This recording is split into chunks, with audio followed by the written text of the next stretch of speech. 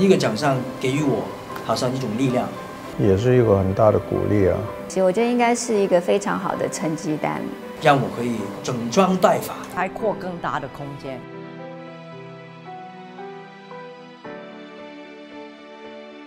金马奖五十年，我终于凭一部喜剧拿到一个奖项。我知道金马奖嘅时候，大概系差唔多七十年代头。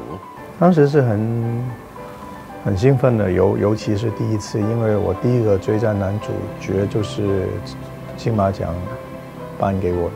没有，因为很激动，所以大部分的情节都都忘掉了。就是身为一个演员，怎么样都要有一个呃影后的奖项。我一直是觉得我是陪绑，因为那一次拿奖是有一种觉得哦。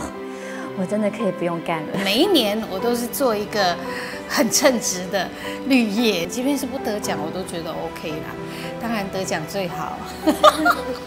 我那个时候在香港或其他地方从来没有拿过男男主角，就拿过很多次男配角，然后那就是很很开心的。其实开心一天就好。其实我从来没有得过金马奖，因为我的生涯才刚刚要开始。反而我觉得，因为我是另外一个阶段，因为我我。我也拿过，也拿过两次，是常年，而不是隔年，所以在历史上面，我觉得对我说，我已经是，我非常满足。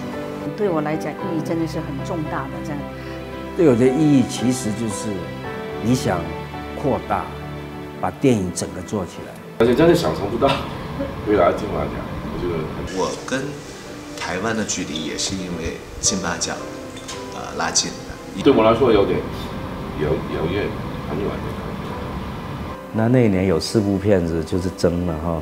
我刚才说的王家卫、李安、杨杨德昌跟跟我，后来《古岭街的最佳影片》，那大家觉得对我跟那个关锦鹏好像应该表示一下，就给我们一个特别奖。有些时候啊，嗯，真的，我觉得碰到好的对手，对自己是一个很好的动力。结束以后到。走出金马奖，我要走回家。这样，我就在那个国家剧院旁边，这样在想要回家的时候，拿一个金马奖就流起眼泪。这样，当天我完全没想到。那后来他就打来说，台湾记者打来给我做访问的时候，我真的在电话里面哭了。我其实当时真的是我第一次，我真的没想过这种东西会有这种感受，一发不可收拾。想到台湾来，再来一次。你们选对了。这真的是得来不易，我终于拿到了耶！